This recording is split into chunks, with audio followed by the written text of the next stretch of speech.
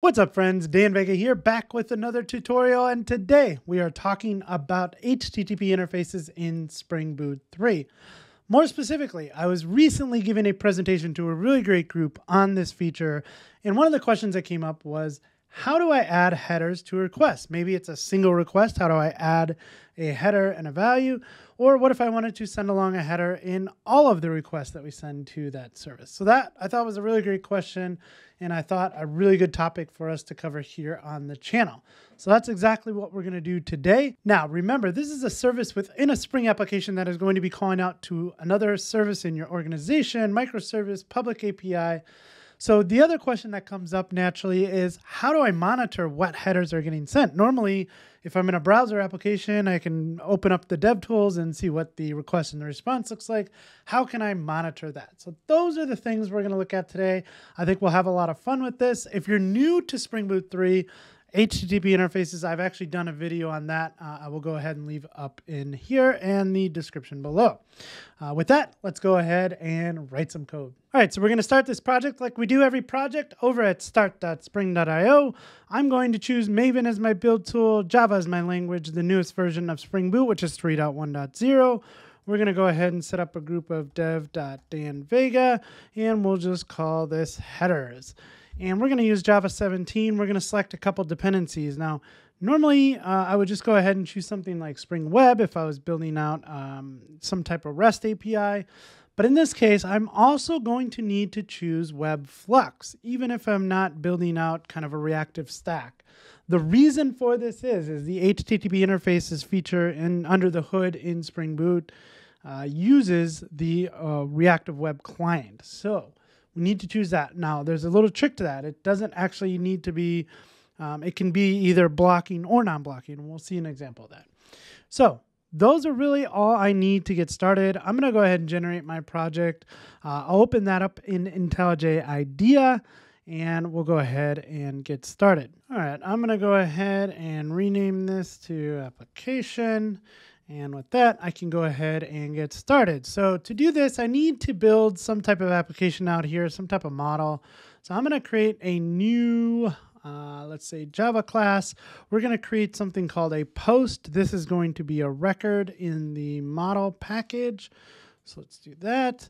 And I just have a little snippet here to kind of um, go ahead and create this for us. So this is a record of post. Now I'm using uh, an integer ID, an integer user ID, a string title, and a string body. We're, so we're representing a blog post. And I'm doing this because of the service that we're going to call uh, lines up with this. So uh, let's go ahead and create a new package and we'll call this service. Let's head over to the browser. I'm going to take a look at this thing, this service called JSON placeholder.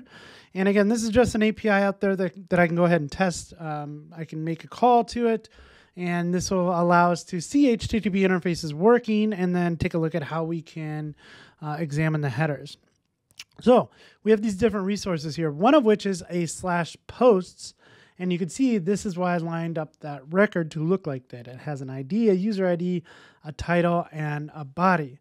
Uh, so with that in place, I think we can go ahead and create a JSON placeholder service. So let's create a new Java class. We're going to call this JSON placeholder service. And again, this is going to be an interface. So we're creating an interface and we need to make a call to whatever the base URL, so back to the browser. So the base URL is going to be jsonplaceholder.typicode.com, and then the call to slash posts is slash posts.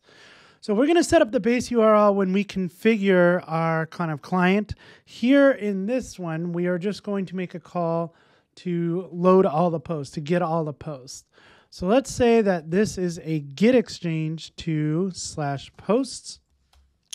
And this is where um, really defining the return type is going to determine whether or not this is a blocking or a non-blocking call. If you wanted a non-blocking call, you could do something like flux of posts, and now the web client will see this underneath the hood and make this a asynchronous call. In our case, we don't care. Um, I'm just going to get back a list of posts. We're going to call this find all. And that's all we need. So let's go ahead and pull that up. And this is a good start. So now we need to just do a, a little plumbing here. And again, I have a, a IntelliJ Live template for this because I never remember how to type this out. And again, I hope this this is something in the future that we can kind of configure to make easier on everyone. But for now, uh, do what I do. Just create an IntelliJ Live template or whatever uh, IDE you're using, uh, a little shortcut for you. So what we're doing is we're, we're returning the JSON placeholder service. So we create a new web client. Uh, so web client builder. We set up that base URL that we saw, and then we build that. From there, we create an HTTP service proxy factory.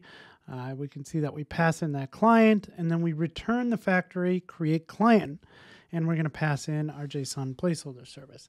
So now anywhere we want the JSON placeholder service, we can just ask for it. It's been created as a bean. It's in the application context, right? Uh, so this is a good start. So now what I can do is I can come into, um, say here, uh, let's go ahead and create maybe a new bean.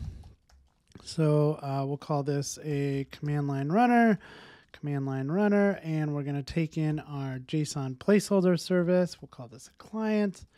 This is going to return args. And all I want to do is call the client.findAll method. I'm going to go ahead and stream that. And then for each, I just want to go ahead system.out and we're just going to print lines. We're going to print line for each. Let's see if this works. All right, and each of those looks like they got printed out. So it has the post, which has the ID, user ID, title, and then you can see the body on some of these is running a couple lines long. So that is a hundred posts that we're pulling and printing out. So this is a great start. But now the question comes when uh, I'm in my JSON players placeholder service. Um, now, so I could have you know multiple methods in here. One for something like slash posts slash ID. You know, um, you could have like get, put, whatever. We have a whole bunch of methods in our service here. I'm just going to use this one, but what if you wanted to send a specific header for just this method? So when we call find all, we want to send a request header along with the request. Or what if you wanted to send a header and a value for all of the all of the requests? So these are the two scenarios we're going to take a look at now. All right, so the first way that we're going to add a header to this request is by adding an argument to this method. So we'll add the request header annotation. And if we go ahead and look at that annotation, we can see that this is an annotation which indicates that a method parameter should be bound to a web request header. So you can have, uh, if the method parameter is a map of string of string, a multi-value map string of string, or an HTTP headers, then the map is populated with all header names and values. So that looks like that is something that will work for us here. So what we're going to do is we're just going to come in here and say we're going to take in a map of string string and we'll just call this headers. So now back in application, I want to do something uh, when I call find all. So let's just go ahead and move this down and move this down and I need to pass an argument here. So what I'll do is just say map.of and now I want to pass in the header and the value. So I'm just going to create my own here. We'll call this x powered by and we'll pass in uh, Spring Framework 6. All right, so now let's go ahead and try and rerun this and see if we can't see this in action. So a whole bunch of things going on up there, but let's go past that. And if we come up here, we should see. So we are unable started. All right, and I'm going to clean this up. Um, I'm just going to not actually print all those out. Uh, that way we don't have to see all of that in the console there. So let's go ahead and run that and see if we see anything. And we don't see anything. So what's going on here? Um, well, first off, we are probably sending this along with the request, but we have no idea if we are or not. So how can we resolve that? One way that I'm going to do that is by going into my application.properties here. And what I want to do is set a logging level for our web application. So I'm going to say logging level for uh, org dot spring dot web and I'm going to set that to trace. So let's do that. Uh, come back over to application and let's rerun that application. Okay, a little bit more going on, and there are all of our calls, which we didn't want to see anyway. But now, if we come back up here, let's see here, we can see some things going on. So um, we see that we resolved the request header value X powered by Spring Framework 6. So um, we see the response that came back. Um, we know that request header should be there, but we also see that our HTTP GET to that uh, has a headers of and it's masked. Hmm, so we want to actually see what the request headers are. Even though it says it resolved that, I'd like to see what that headers looks like. All right, so here's a quick way that you can make a change. I'm going to add this uh, configuration here to our web client. Uh, so we're just setting the exchange strategies. Uh, we're changing the codecs and we're saying, hey, go ahead and enable logging request details and set it to true. Build that. And then from here, we can go ahead and build our client. There is a property for this in application.properties. Um, so that, that's another approach that you could take if you'd like. So I'm just setting this here. Let's go ahead and rerun the application. And let's see if we can't see some details on that request now.